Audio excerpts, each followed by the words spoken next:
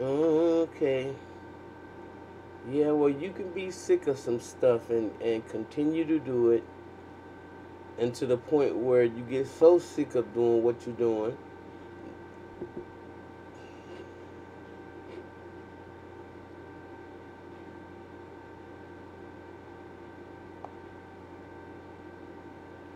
All right.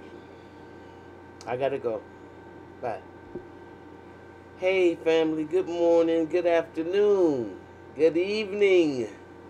Just wanted y'all to know I was still in the land of the living and um, thought I'd show my face in the place today. How y'all feeling? I hope everybody is well. Um, under the circumstances, like you always hear me say, under the circumstances, I hope mentally, mentally, that um, we're doing okay. We're hanging in there. We're checking on our neighbors. Because, you know, we had a bad, bad snowstorm here. Um, in fact, it just stopped a couple hours ago. Oh, boy. Um, here we go. America is ramped up, y'all. I did a video a little bit ago about, but America is um is totally amped up.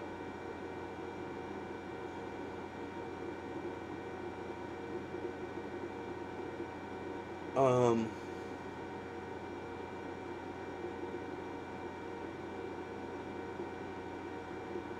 let's see. Uh, America ramps up. It says the U.S. is expected to quadruple the number of U.S. forces deployed to Taiwan in the coming months as tensions with Beijing continue to simmer. The Wall Street Journal reported on Thursday that the Pentagon plans to deploy between 100 and 200 troops to the self-ruled island, um, up from about 30 a year ago. Servicemen from the Marines and Special Forces have been sent to Taiwan in the past, and um, number of has fluctuated over the years.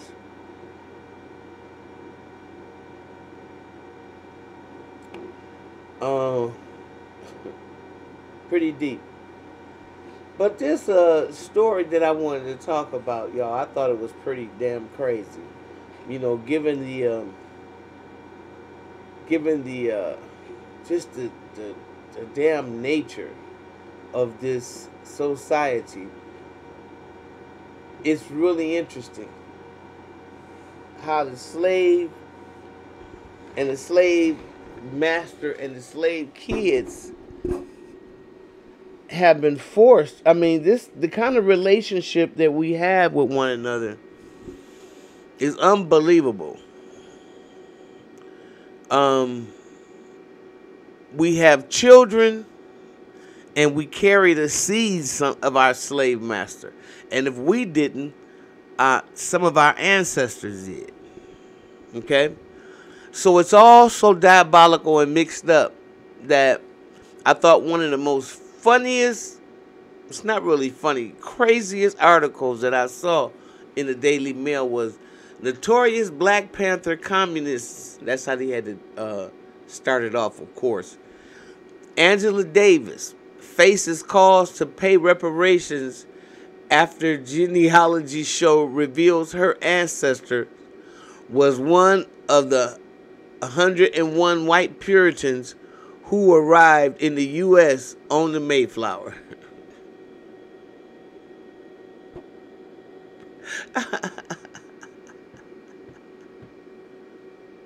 that damn finding your roots. You gotta be kidding me. You y'all y'all ain't right. And y'all want her. Y'all want her to pay reparations.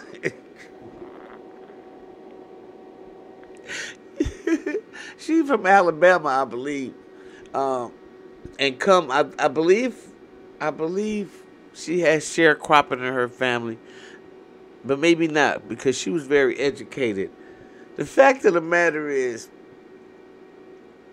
Angela Davis, 79, learned that her ancestors, one of them came to the U.S. on the Mayflower. the former Black Panther also discovered that she had two white grandparents. She appeared on PBS Finding Your Roots in an episode that aired on Tuesday. Well, it doesn't surprise me. Like I said, we have such a unique history here in America.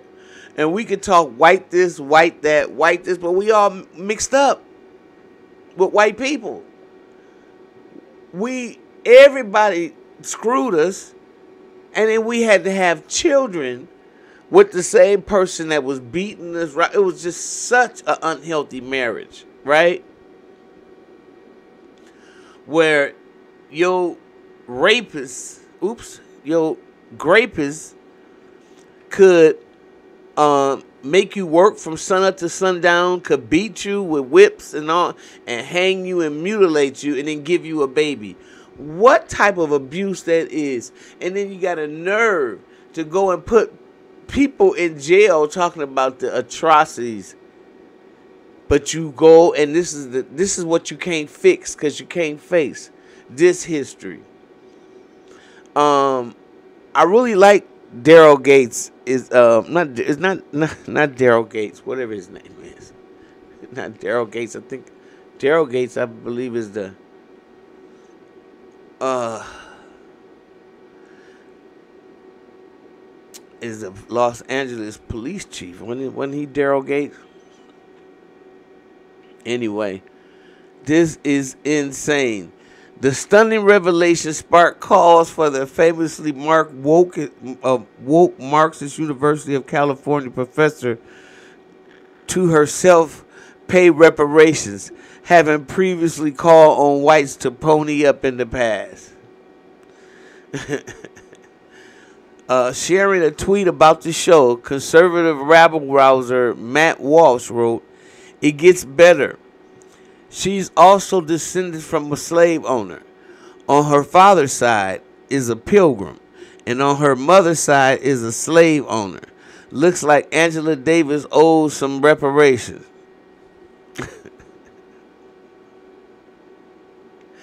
Another Twitter user called AK Kamara wrote, Angela Davis, the radical Marxist and former Black Panther, recently discovered that she is also the ancestor of colonizers and slave owners.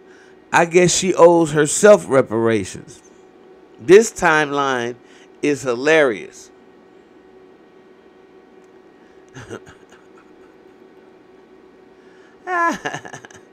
it was revealed that Davis is a descendant of William Brewster, who traveled to the U.S. aboard the Mayflower with his wife, Mary Wentworth Brewster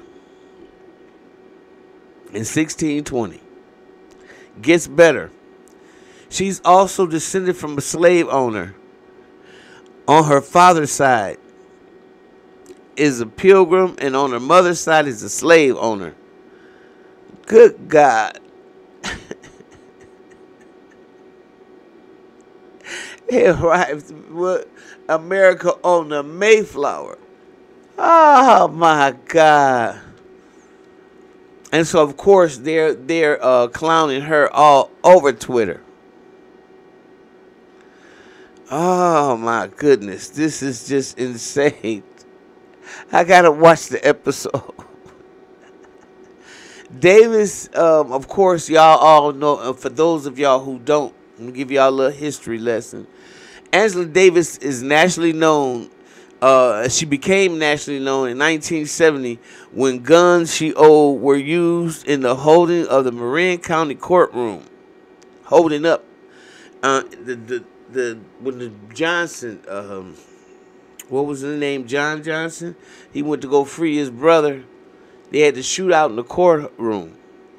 The FBI issued a warrant for her arrest. She went on the run and became listed as one of the department's 10 most wanted. After her eventual arrest, she spent 16 months in jail before being found not guilty. Davis was born in Birmingham, yeah, I thought so, Alabama in 1944, an era of uh, segregation and va- violent uh, racial segregation. I remember reading her uh, one of her books where she talked about her and how her her and her cousin used to uh, go and fool the silly store owner that used to give everybody credit and rip everybody off. They would take their towels and stuff and wrap their heads and act like they was foreign um, black people from you know Nigeria or some other part of Africa, and the store owners would treat them totally different. And they were so silly how they could take go in there without that headgear and head wrap, and they would treat them like niggers again. And, and they got a big kick out of that. Anyway, while studying in West Germany in her youth, she was drawn to the far left politics and re- upon returning to the U.S., became involved with the Black Panthers and the Communist Party. She appears shocked during a TV interview that aired this week, in which Finding Your Roots host Louis Gates, Henry Louis Gates, that's his name, told her of her ancestry. No, no, I can't believe this. My ancestors did not come here on the Mayflower, she said only to be later told that they did indeed arrive on the U.S. border. the Pilgrim ship. Um, the Mayflower was an English boat that brought. Um, hold on, y'all. Hello? Hello? Okay, there we go with this again. Can you hear me?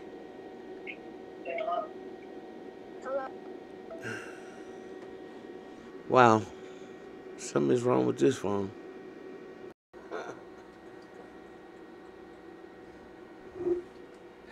I can imagine.